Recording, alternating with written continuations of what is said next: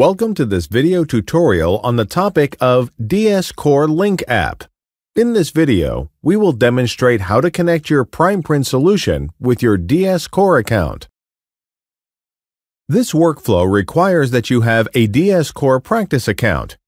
In our video tutorial titled Setting up a DS Core account, you can see how to create an account on dscore.com. Next, download the DS Core Link app from your mobile phone's App Store. Open the app and log in with your existing DS Core practice account email address and password. Be sure to select the correct region. No device is connected to our account at the moment. Therefore, tap on Add New Device. Next, click on Add device manually to connect your PrimePrint solution.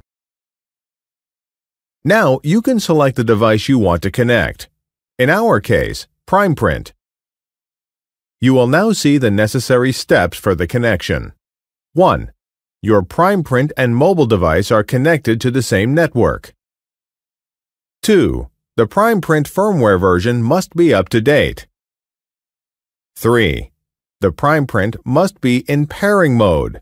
To do this, switch to the touch display of your Primeprint. The pairing mode of the Primeprint can be found in the settings on the touch display. To do this, scroll down a bit in the settings and tap on DS Core Connection. At this point, all steps already carried out are described again. Now, activate the pairing mode. Your device is now ready to pair and is visible in the DS Core Link app. Switch back to your mobile phone. The DS Core Link app has recognized the PrimePrint. Tapping on the device starts the connection process. We confirm the establishment of the connection and get the successful connection displayed.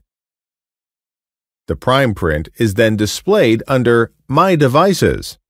Now, our Primeprint is successfully linked to this. At this point, you can add another device. A Primeprint PPU is connected in the same way. In our case, we want to rename the device by tapping it again.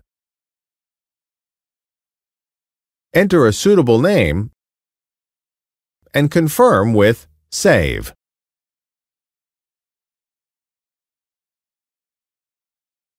If you have any questions, you can always access the Help Center.